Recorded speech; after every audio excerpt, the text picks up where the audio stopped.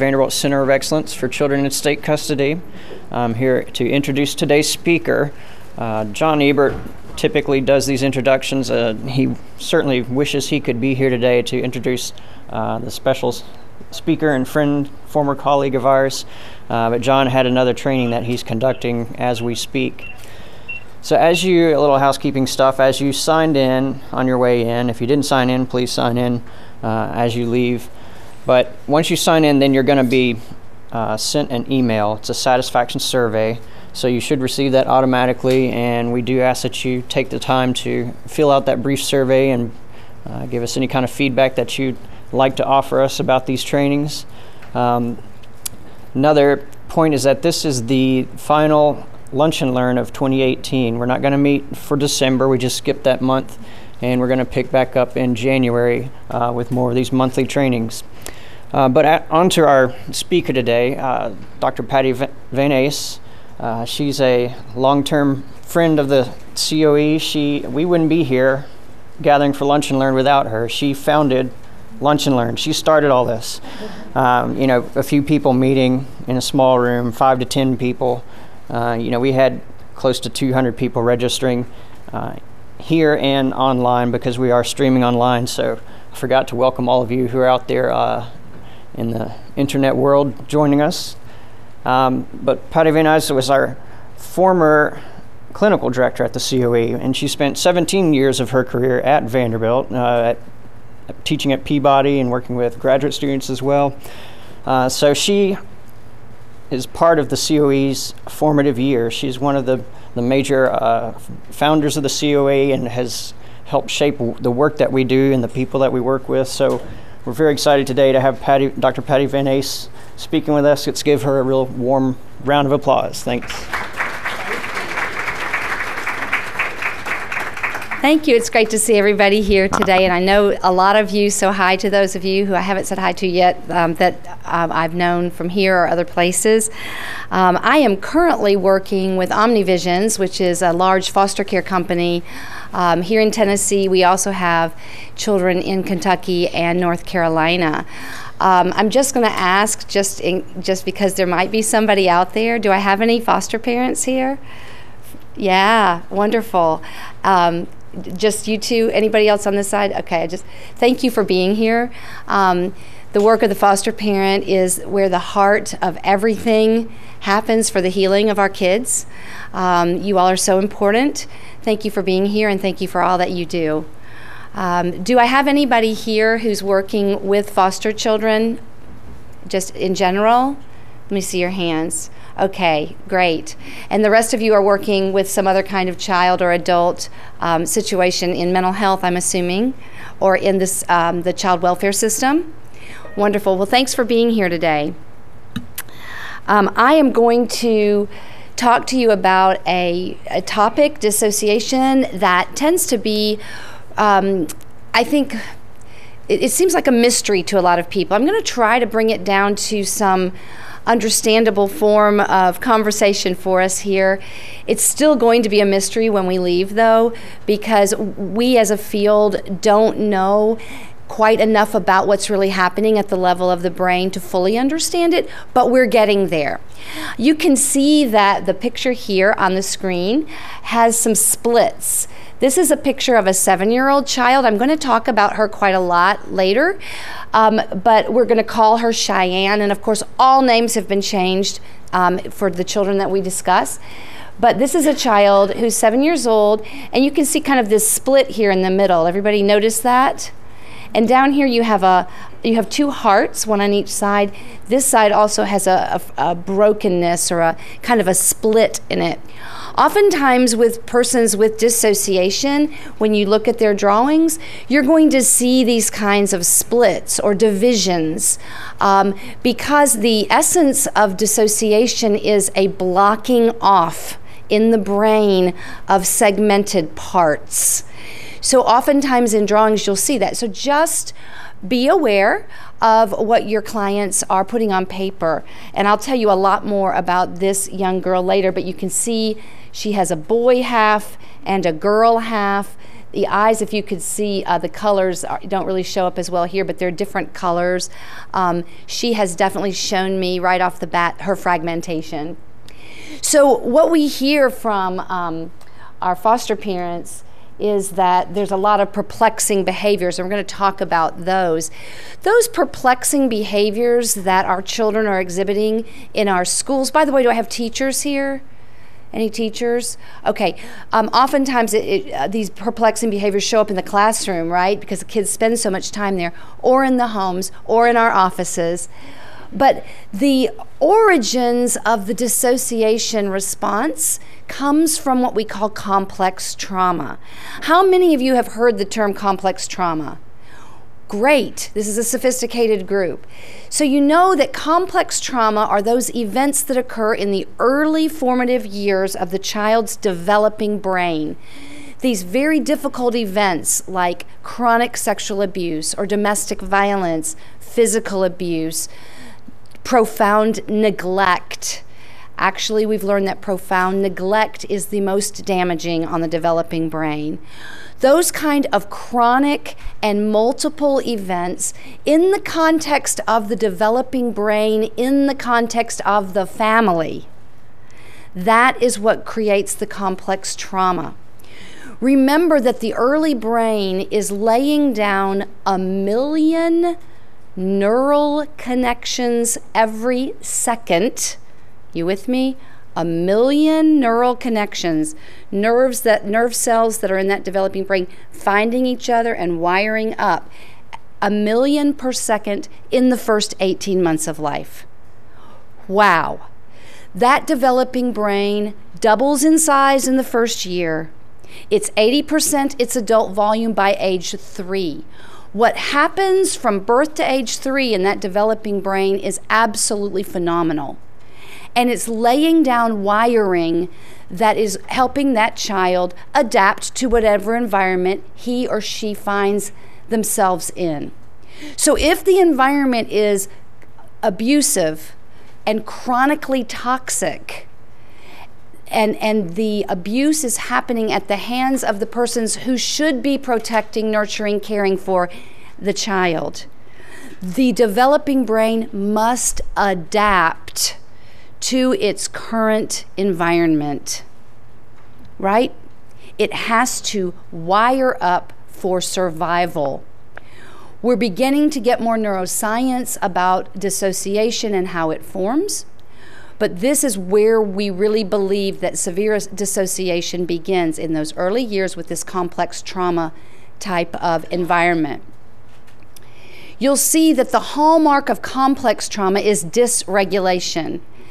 These are the perplexing behaviors extreme shifts in mood, unexplainable shifts in behavior. The child was just fine and seemingly unprovoked. She's now aggressive toward the sibling in the room. You didn't see the, the, the, the trigger there. It may have come from the inside of the child, an internal state. Um, dysregulation of biology, a child who is not able to have routine sleep because those rhythms that should have happened in infancy are not in place. Children who are having trouble with their toileting. Um, when they should be toilet trained, troubles with biology, somatic painful complaints that don't have a, a, a true origin, a medical origin. Um, so you've got dysregulation in emotion, we call that affect, mood shifts, relationships, I love you, I hate you, I love you, I hate you, I'm going to push you away. I'm going to, and now I want you close, I'm going to push you away. Um, just very confusing um, concept of trust and attachment. So, complex trauma is the underlying condition that creates the dissociation. So, what about these perplexing behaviors? I'm going to tell you a few that are just from my more recent history with um, with kids.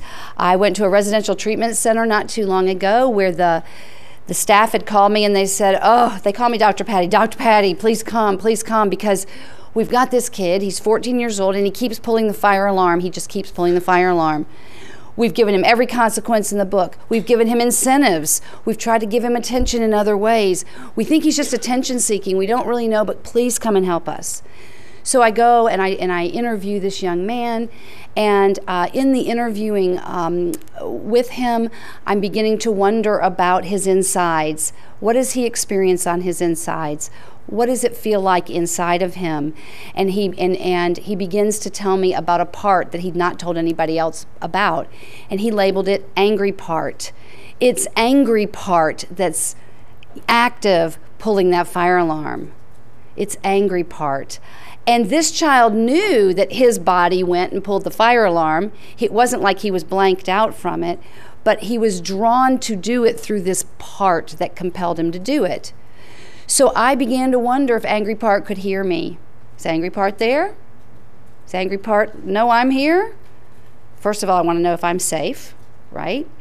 Um, and he said, he, he kind of said, yeah, Angry Part's listening. And I said, "What angry part? Do I have permission to like talk to angry part and let and or can you talk to angry part and uh, let me tell him a thing or two?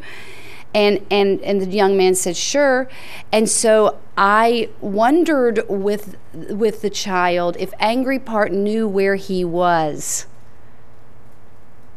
And angry part still thought he was in the birth home, where he was locked in closets routinely now this child's in residential treatment locked in. You following? Angry part thought he was still in the past. That part was segmented off from this young man's awareness. Um, my child that I was talking to, I'll call him Jay, Jay knew where he was, but this other part was still stuck.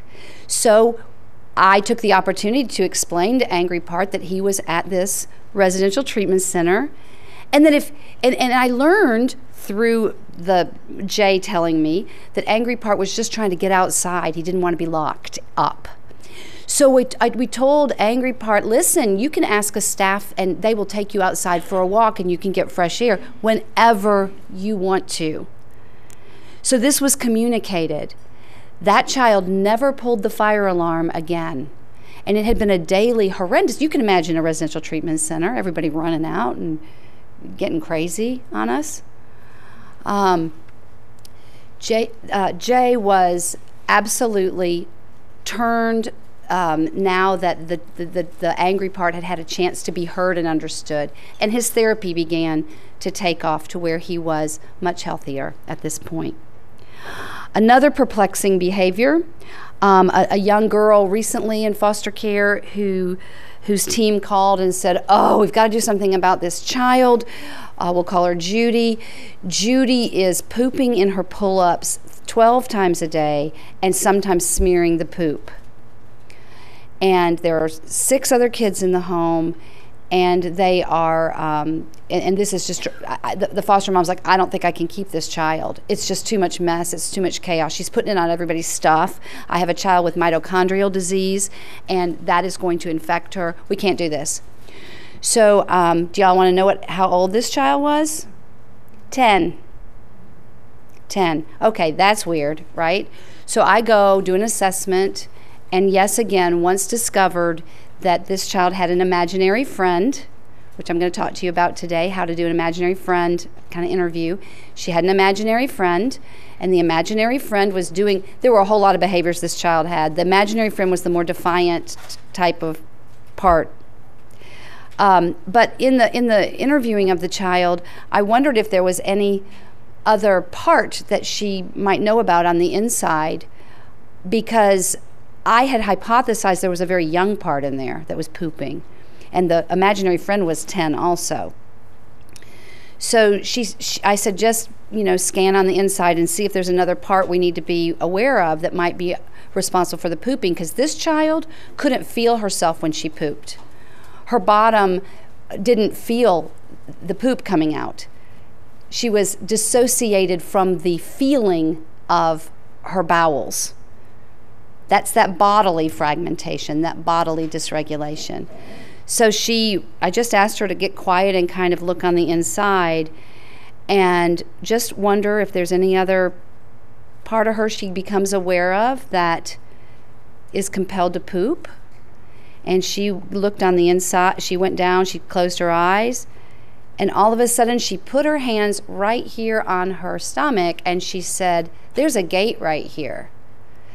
Dissociative kids have closed off fragmented parts of their brain, walled off one from the other. So when she said gate, it made sense to me. There's a gate, and there's somebody behind it. I asked her to explore that, and she said, It's a two year old, or maybe a four year old. And this was the beginning of the discovery of a part that was responsible for the pooping. And now we're working with her with specialized treatment for dissociative disorder, and she's coming a long, long way. It's amazing the progress she's made now that that part has been heard and understood. Because we know about this child's history, she was very, very much abused sexually, physically, emotionally, domestic violence. And at a certain point in time, this part took on all of those feelings and um, memories and broke it off so that Jay didn't have, Judy didn't have to experience it. Perplexing behavior that now, once we figure out what's going on underneath, makes some sense. But to the foster mom, this is a 10 year old pooping her pull up 12 times a day and smearing it all over her house. That's bad stuff, right? To the residential treatment provider, that's a kid that's creating chaos every single day. Um, I'm going to tell you about one other uh, young girl that came to my office. She had trichotillomania, pulling out her hair, and she would pull out the hair from cats and dogs also. And while she pulled out the hair from cats and dogs, she would make their mouths like hold their mouths shut while she pulled out their hair. Very vicious, very aggressive. Um, she would collect her urine in a Febreze bottle and spray it all over her room. Uh, she recently wet her bed and put her snack of cookies in the urine in the morning, smearing the chocolate cookies then all over the walls of her room. This is perplexing, difficult behavior. She used to blow her nose mucus uh, into her hand and smear it on herself, and sometimes on peers at school. Perplexing behaviors. What's behind that? These sound like big, weird, huge behaviors, but the behaviors that are also reported a lot are just things like this. It seems like the, the, the child just zones out, she's just not there, she spaces out. It's kind of like, hello, anybody home? Foster parents will say their eyes go blank or their eyes kind of roll and it's like they're not there anymore. And it's like even when you call their name, it's hard to bring them back. They're just in their own world. We hear that a lot from our foster parents this sort of leaving and zoning out and spacing out. Uh, we hear about extreme mood shifts, which sometimes gets labeled bipolar illness, when perhaps we need to take a, a closer look because it may be regressive shifts of parts and regress it like angry part coming out. Um, extreme shifts in behaviors. We've talked already about that.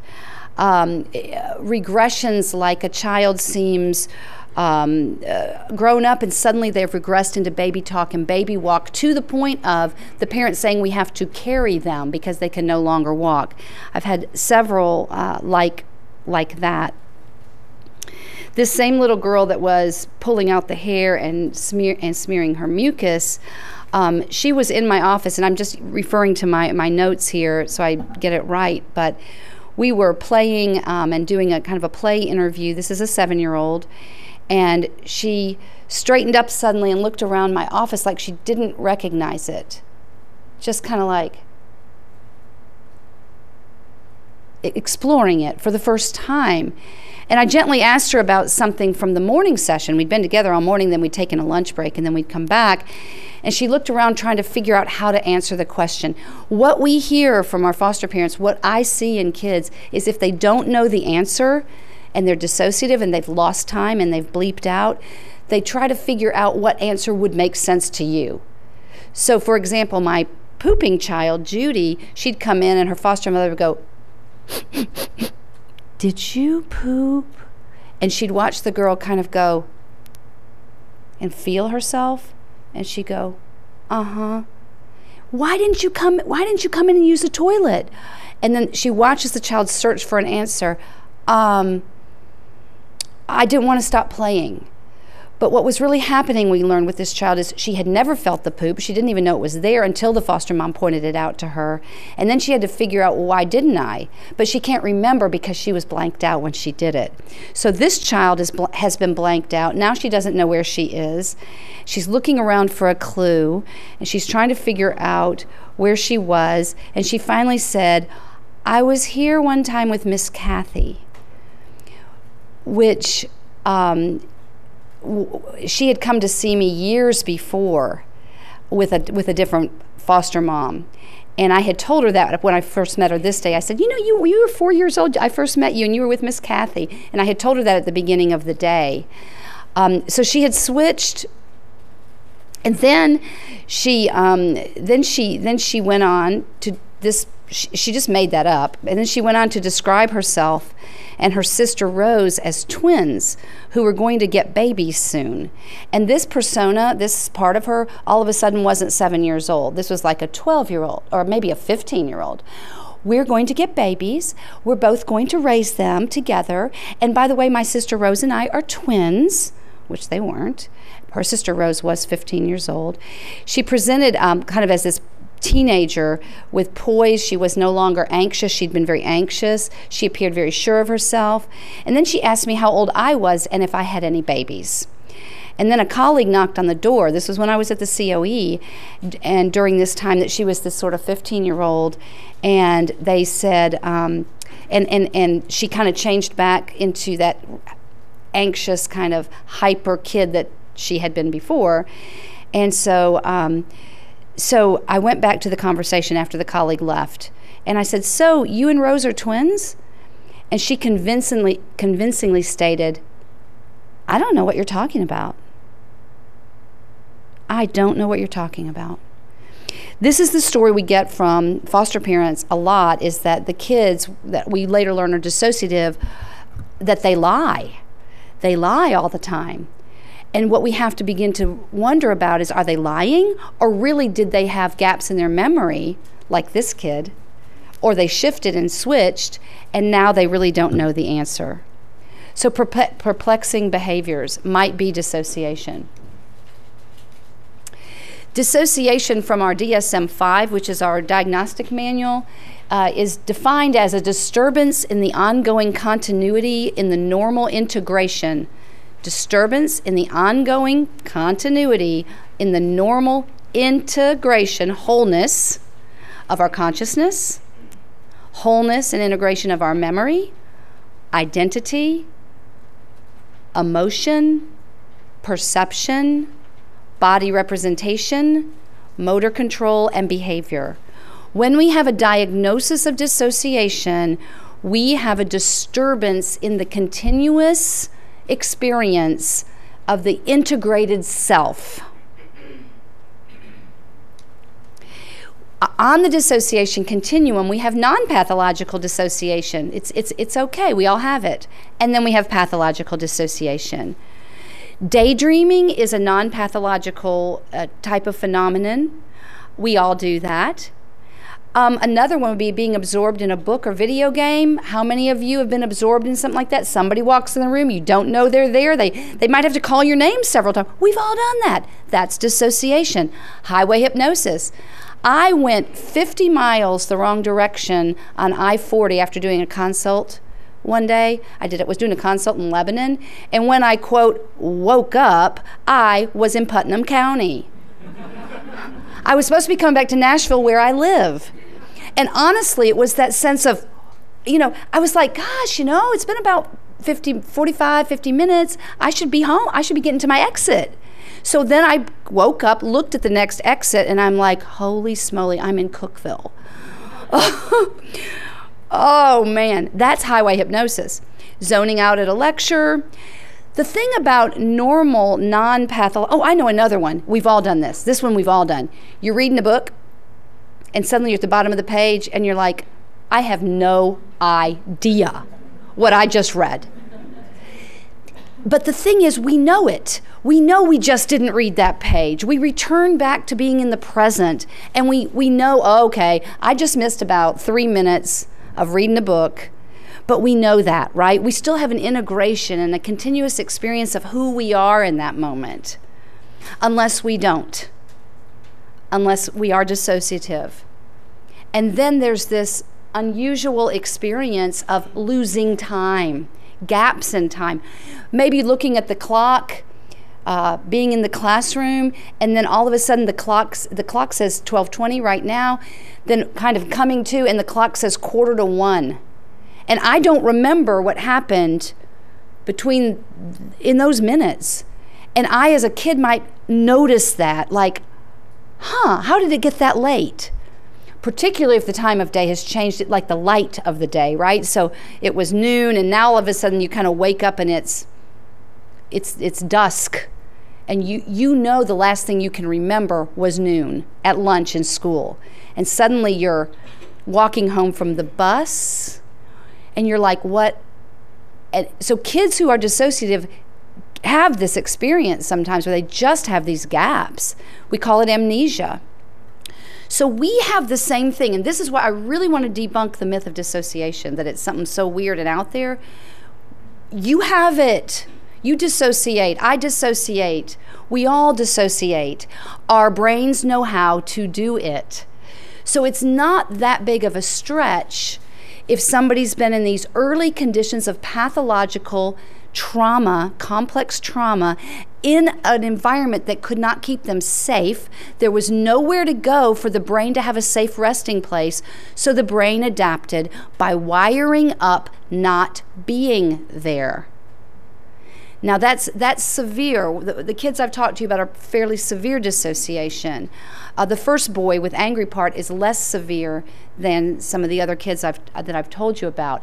But what happens in pathological dissociation is that there's a structural division within the self that causes this disturbance and this fragmentation in our normal integration of who we are and how we think and how we remember and how we perceive and how we behave. We lose these chunks of time, don't remember anything. People with dissociation can be watching themselves like they're over there like they're doing something and they're over here watching their body do something that they're not willing it to do. Uh, that these these persons can feel like they're in kind of a dream world. Is this really real, or am I kind of watching a movie? Or it could be kind of foggy. So, those two phenomena are called depersonalization and derealization. We'll talk a little bit more about that. But the sense that someone else is controlling their actions, that one is like Jay, who was pulling the fire alarm. He sensed that angry part came and did that and that he didn't he didn't have control to say no don't pull the fire alarm it's like the angry part took over his arm and his hand. And kids will tell me this. I saw my body doing that, and I didn't want it to. Um, so having the then having inside parts or states that act independently like that is severe dissociation. So everybody knows we're on a continuum, right? Everybody got that. Um, there was a story in the New Yorker, if you're interested. Um, it was in April, and there was a Yale University psychiatrist, Dr. Krasner, who read this article about this young woman. She was a teacher, very high functioning person, and she went into a dissociative fugue state. In other words, she got am- she got amnesia. She lost her she lost her identity for a while. She was wandering the streets. She ended up in various places. She was finally found. Of course, her family desperately looking for her. Several weeks just missing. Did not know who she was. She went into a dissociative fugue state. And um, people began to say, oh, she's just doing that for attention. It's not really true. She's making it up. She's staging it.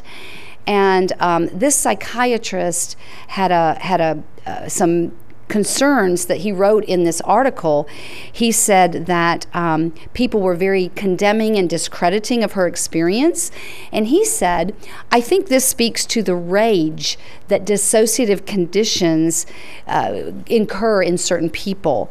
And there's an kind of an inexpressible quality to dissociative, dissociative states. It's hard for me to stand up here and try to express to you what it really is.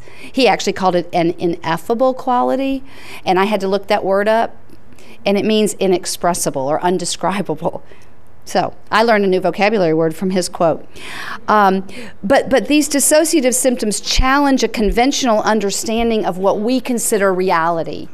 Dissociative disorders challenge our reality. So I want you to look at this quote here, the rest of his quote. Dissociative fugue is the rare bird of dissociation, but dissociation as a phenomenon is very common. I think as a field, we have not done our due diligence, in part because the phenomenon is so frightening. It's terrifying to think that we're all vulnerable to a lapse in selfhood. It's terrifying. When we become afraid as people, we tend to avoid, dismiss, um, condemn. We do that as human beings. And this is one of those conditions in mental health that has that, that where this may have been occurring. Um, now, again, I, I, want to be very clear that even in pathological associ- dissociation, there are there's a continuum from mild to severe.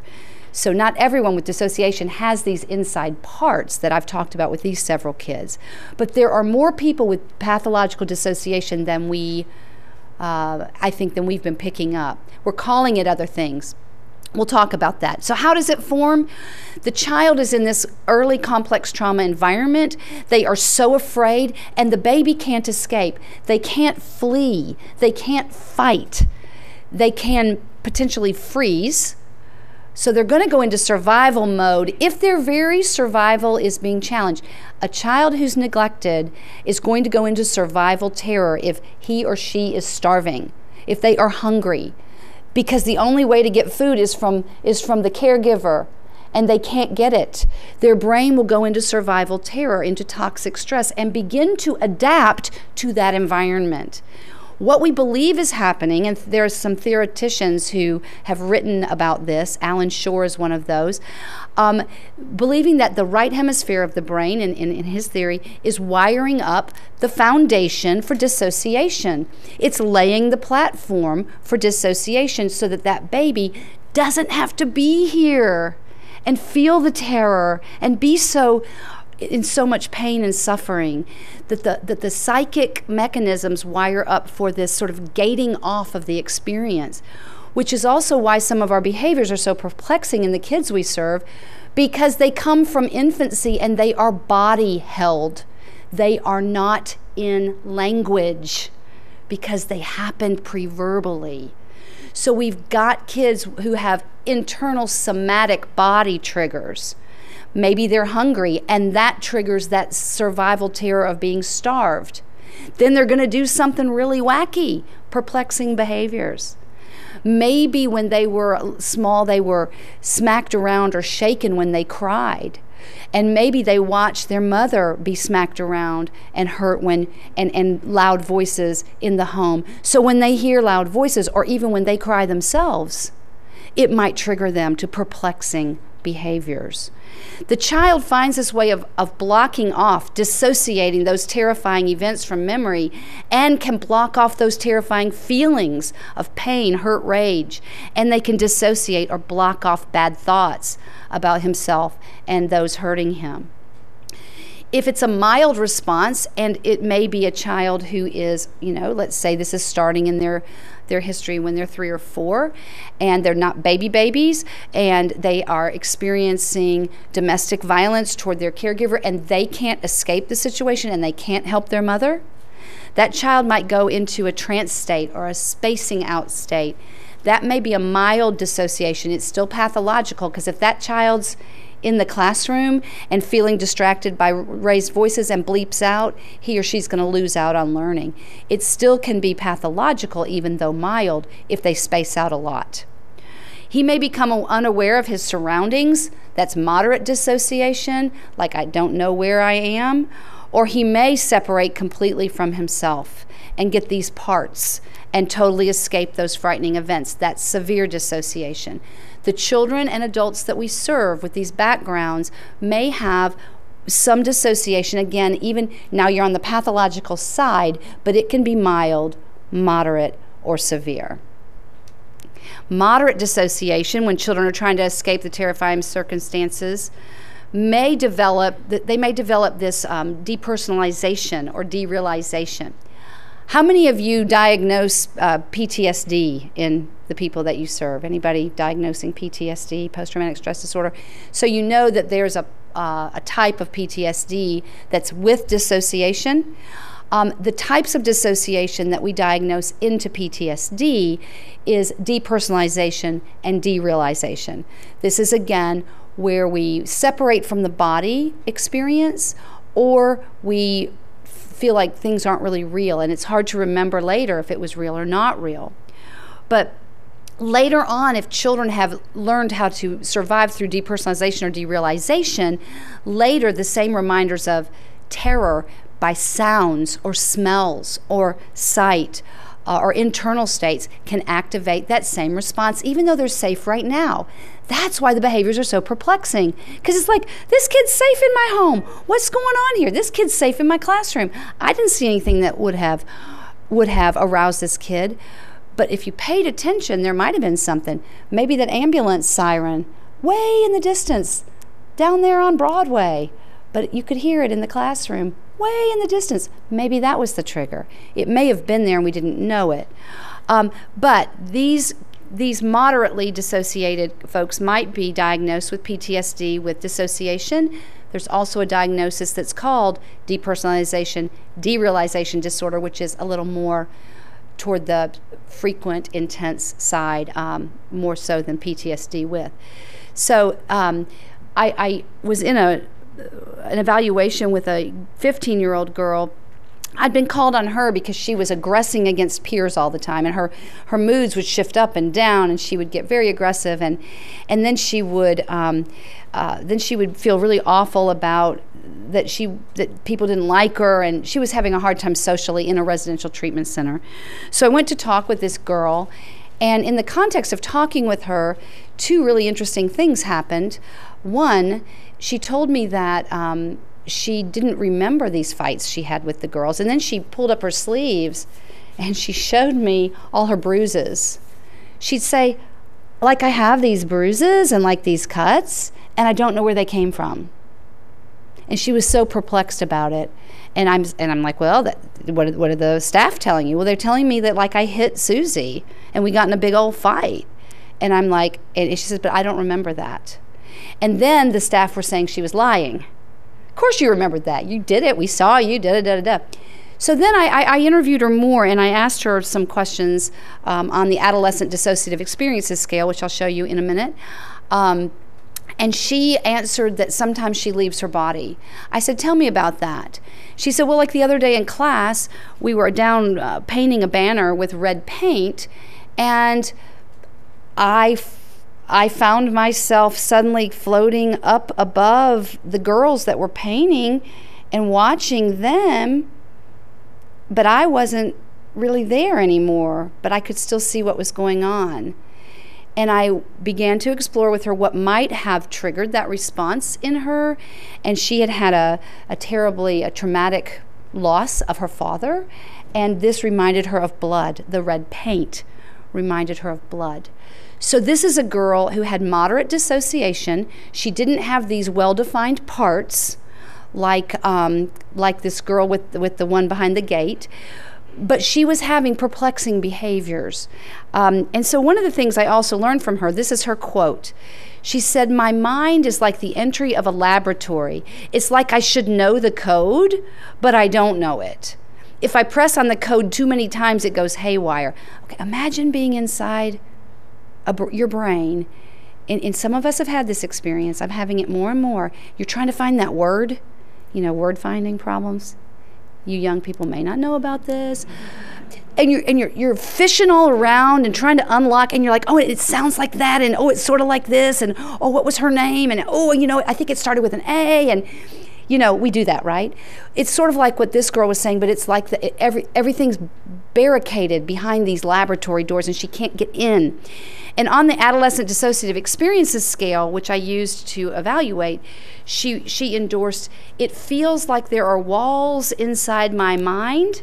And another endorsement was I feel like my past is a puzzle and some pieces are missing. Do you hear the confusion in our kids who have been so um, have experienced such pain and suffering early on that their brains are just not coherently integrated and they're trying to figure it out. She has moderate dissociation. Severe dissociation, on the other hand, in order to escape really life threatening and terrifying circumstances, children may separate completely from themselves. So it feels like there's these, and there are these separate selves you know, in the brain that hold these awful states for them. I can't be there right now, so you take it. But there's this part of their brain, part of them, that knows the memory. They mo- may know it from a body feeling level, but they also, some may know it from an actual remembering. But it's over here, and it only pops up when it gets triggered. So these states can hold these unwanted thoughts and feelings so the child can go about her daily life. Right? If those thoughts and feelings were always there, the child couldn't go to school. The child couldn't go play on the basketball team. She couldn't have normality. But when they're overly stressed or reminded of the earlier trauma or terror, some of these states get activated, and that's when we see these perplexing behaviors. Uh, these children may be diagnosed with dissociative identity disorder or possibly something called other specified dissociative disorder, both of which have parts that can take control of the child's body. Um, I had a little girl that I took care of many years ago before I knew much about dissociation at all. And the foster mom came to me and she said, you just won't believe this child. She can lie like nobody's business. I mean, she lies so well that if I didn't see her do the behavior with my own eyes, I'd believe she didn't do it. So let me tell you what she did, Dr. Patti. Let me tell you. We went to Walmart. We bought these jeans and these these shirts and this. She got to pick out all her new clothes. Brought them home. She had all these new clothes, wonderful things, and then she took scissors in her bedroom and cut them all up. And I found them. And I know she did it because she was the only one in the house. And I was the only other one in the house, and I know I didn't do it. So I confronted her with it. I'm like, you know, Cindy, why did you cut your new clothes? Why?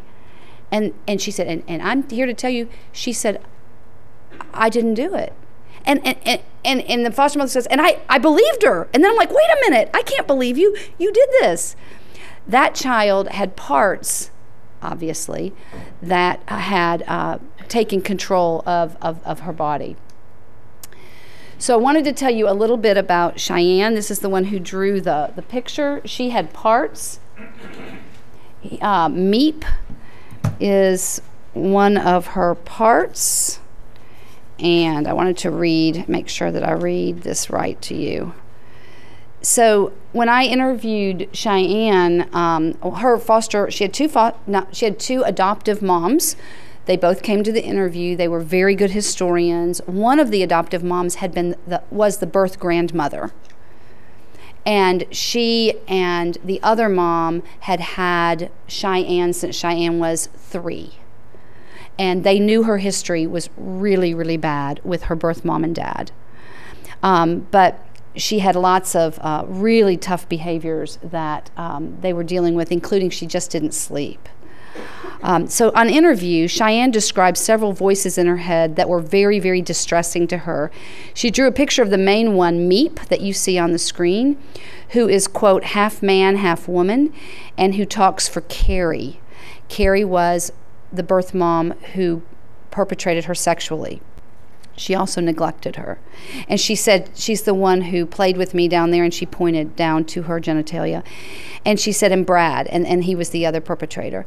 Uh, this child is afraid of Meep and wants to destroy Meep. She's tried to kill Meep by sticking things in her ears because she hears Meep inside her head, or covering her head with a blanket in order to smother that part. Then a newer, scary voice, in, scarier voice in her head is called Meepers, and she drew that one also up on my whiteboard. And here is that one. And this voice just terrifies Cheyenne and fights with Meep. They disagree. And she said, Um, she, she told me that Meep makes her frustrated because Meep tells her to tell her moms that she hates them, and she doesn't hate them, but Meep makes her say that. She said, Sometimes I go away, sometimes I go away when Meep is out. That's dissociative talk. Sometimes I go to my tree. He yells so loud like sirens.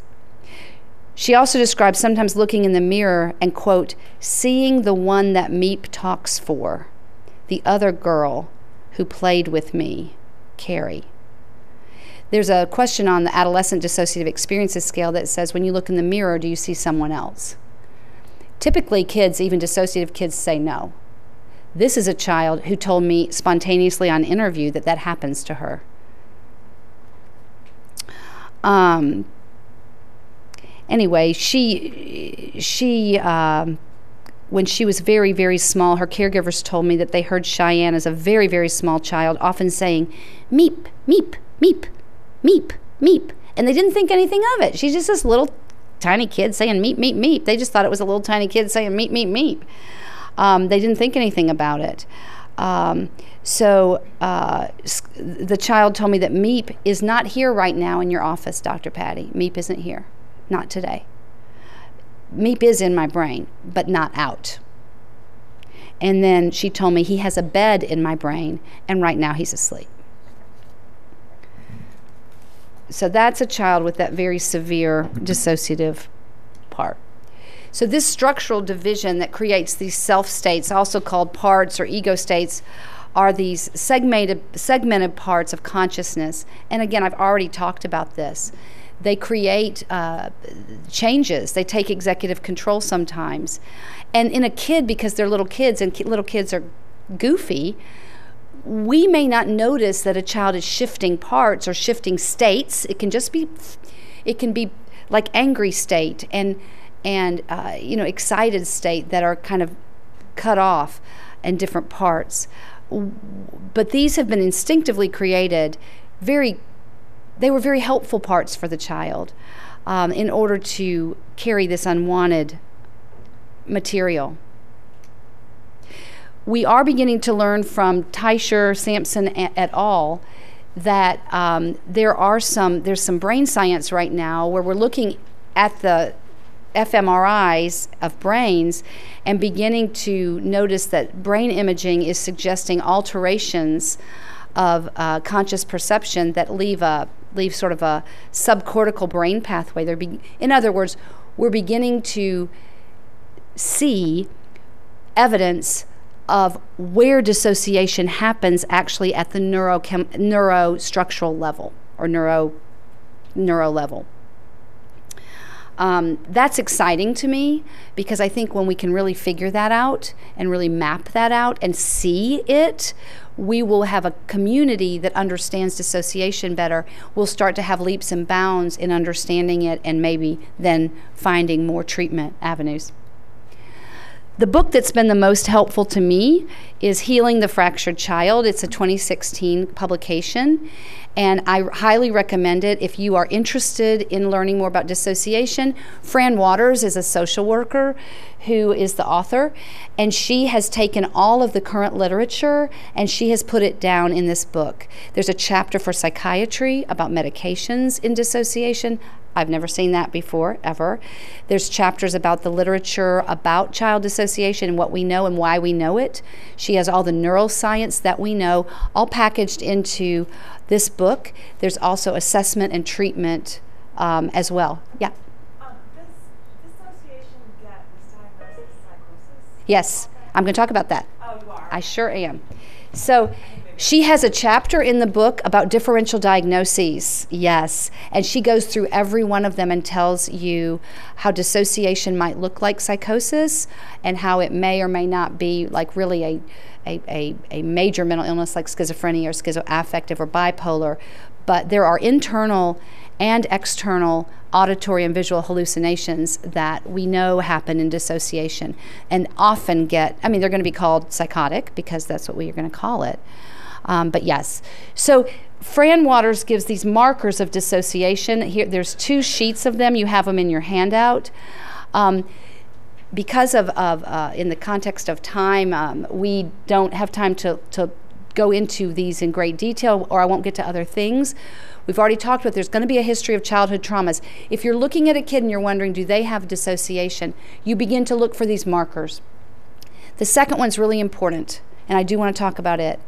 In the context of the abuse that happened early, or the neglect, or the chaos, um, if there was a safe adult for the child to go to, a protective adult, a protective factor, maybe an older sibling, if a child had a safe haven to go to, their likelihood of dissociation, it, they may still have dissociation, but it may be much less. Because if the brain had a safe place, it didn't have to make its own. Does that make sense? So when you're looking at history, you want to know was there that person? Was there was there that grandma who lived, you know, in the grandma room down there and she that child ran to her room when the domestic violence was happening. You want to understand the protective factors. Fran Waters makes a big point of that um, because that makes all the difference. The eyes can look different, fluttering or uh, blanking out. This is what we hear from our foster parents that the eyes change, and they will tell you, and they'll say things like, He looks like he has a demon. He looks like he's demon possessed because there's something so different about the eyes.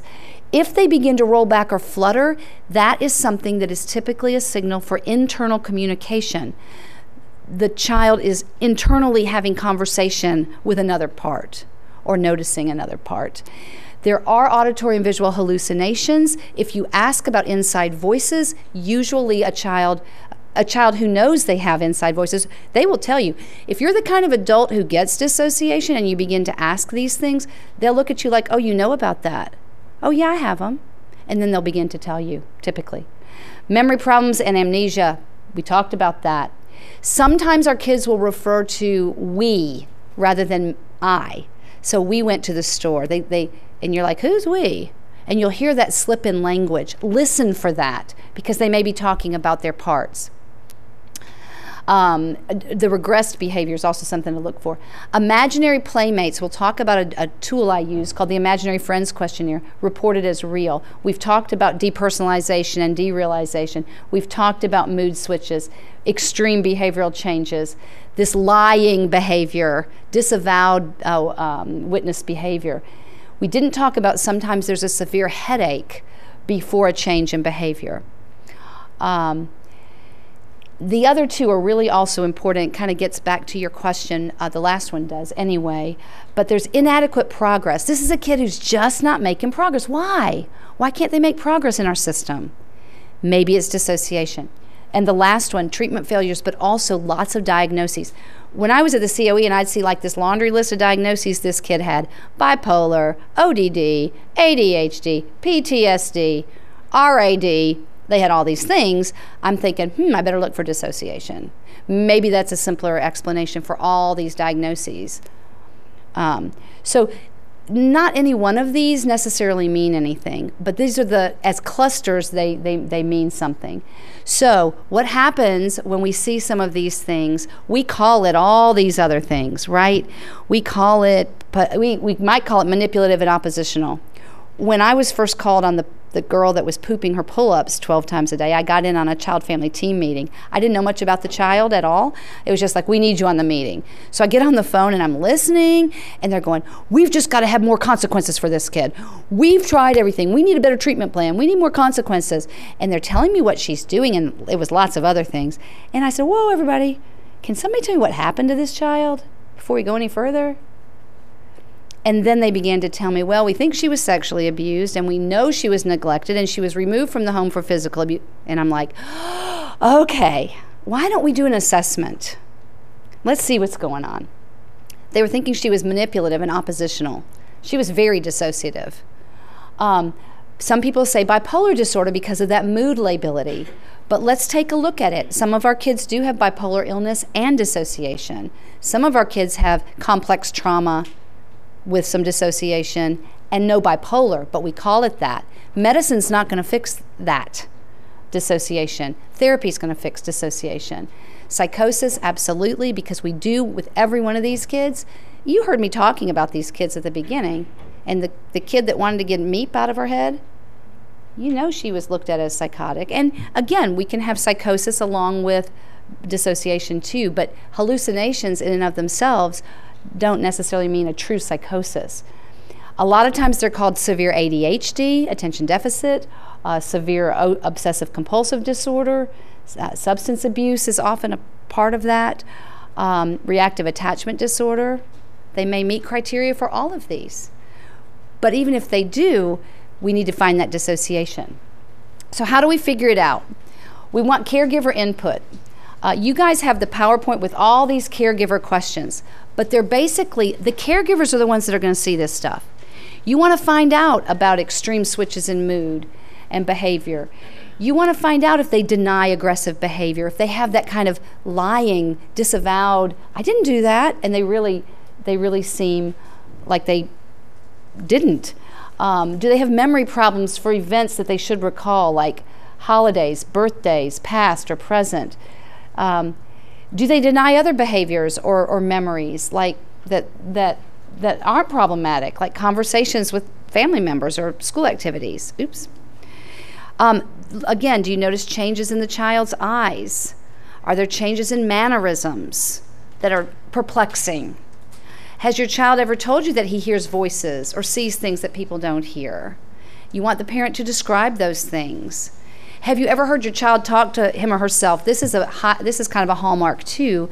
I had a foster mother with a 12-year-old boy, and I was doing the child dissociative checklist with her, and I got to have you ever heard them talking to themselves? She goes, "Oh yes, every day he's in that bathroom." And it's and she goes, "And I listen, I go up to the door, and it's like there's a girl in there."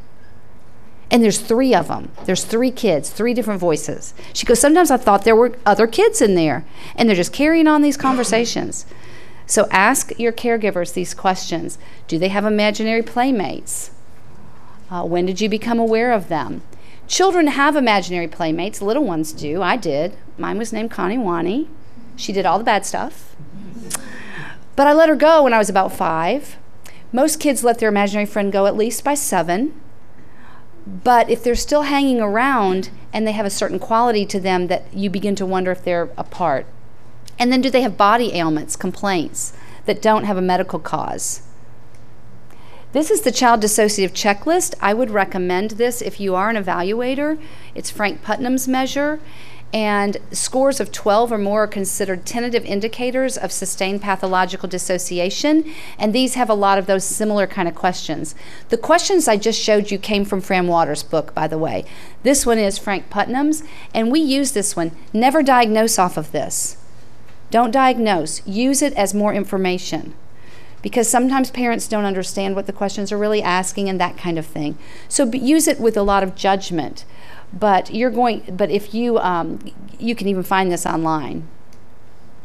This was Cheyenne's um, child dissociative checklist, and you may notice her total was 29. And do you remember? You just need 12.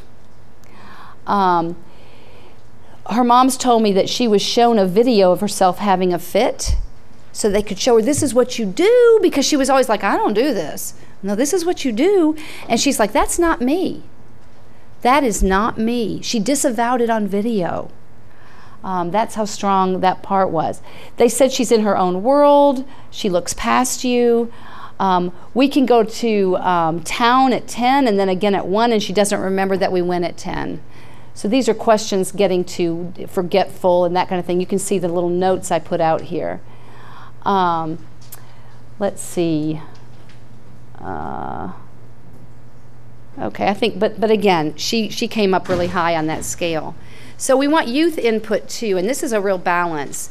Um, kids have an intensity and need to find somebody to share the uniqueness of their internal world with, but they also need to protect their secret. So we have to be grounded with these kids. We have to let them know I accept all parts. I won't be shocked, frightened, or disgusted. I'm here for you, and I realize our time is really going fast. Attunement is really important. I'm open and curious about your experience. I see you, I don't judge you. I'm not here to change you, but to understand you. These children need safety, safety, safety. We need to understand their triggers. We need to understand how we do not overreact when they begin. When they begin to go into one of their shifts, we ground them. We might give them something grounding like water to drink or let's take a walk. Everything's okay. I'm here. I gotcha. Bring them down because the parts flare up when they're not feeling safe. The parts flare up only under some kind of stressor. So you're going to frame that if as, a, as an evaluator, I frame the experience. I see other children here who are in foster care who've had some of those same things happen to them that have happened to you, and I've learned really, really important things from them. And I hope that I can begin to understand your inside so that I can understand what's happened to you. Um, so, other ways to help children talk about dissociation, I'm just going to flip through a couple things because I know our time's up. But drawings, this is a child that I said just draw yourself, and you can see she drew all her inside parts all around her. I didn't know she was dissociative until she drew herself. And these parts on the inside right here, she called these her ghosts. And these are all her ghosts. So she had very unformed parts. These are not distinct personalities yet, but they were getting activated and coming out and having a lot of behaviors. She was an eight year old. This is a child who was 10 who was sexually abusing his little sister, and he was a victim of sexual abuse. And I asked him to draw his outside part and his inside part. And you can see there was quite a part. Once we got to that dark side and began to understand what it was all about, and he was clearly conscious of this dark side part, we were able to make lots of progress in therapy. Um, the color my heart, I'm going to skip I wanted to show you these before we ended. One of you had asked on a, a question, what do we use to evaluate? We use the child dissociative uh, checklist that I already showed you for parents. And then we, we can use the adolescent, adolescent dissociative experiences scale. There's also a child dissociative experiences scale. And then there's an imaginary friend questionnaire. If you want to know more about these and, you and, and you want me to help you locate those, um, I can give you my card afterwards and help you get directed to those. But this is the Adolescent Dissociative Experiences Scale. There's 30 questions. Um, it's for ages 10 to 21, and, and it has all kinds of questions that are about dissociation. Once a child answers those, you want to give an interview about what they mean by it. Uh, this is a child, Jane, who had a subclinical score. She did not get to the clinical cutoff score on her adolescent dissociative experiences scale, but she said she had voices inside her head, and she said that there were other. She said that. Um, I hear voices in my head that aren't mine. I feel like there are different people inside of me. So I'm like, well, we're going to check that out. I gave her the imaginary friends questionnaire, which is, do you have an imaginary friend? She said yes. That's the people inside of me. She answered several questions about them that were true. And then I asked her if she would tell me more and draw them. She drew her imaginary friends. They were two different ones white one and black one, again, not real well formed. One was nice, one was mean. One would, one would, black one helped her when she needed to be assertive. White one helped her when she needed to placate somebody. And they, this was a child who wasn't sleeping and that was one of her big problems. She was so tired in school. What I learned on interview is that either white one would be out or black one would be out all night long watching for abusers, making sure she didn't get abused. So this child had parts of her that never slept the whole night. That's why she was so tired. Once again, with some internal communication, the white one and black one learned that they were no longer back with the abuser. They were at uh, a new place where nobody was going to hurt them and they settled down. We also got her a weighted blanket, and she slept just fine after that. Um, child dissociative experiences scale, you have it in your PowerPoint where to get it. It's the same type of thing except for your young children. Um, boys and girls, they also have um, uh, ones for African American and Caucasian children. And I think we've got to stop because my time's up. So I didn't quite get through, but there you go. Thank you, Dr.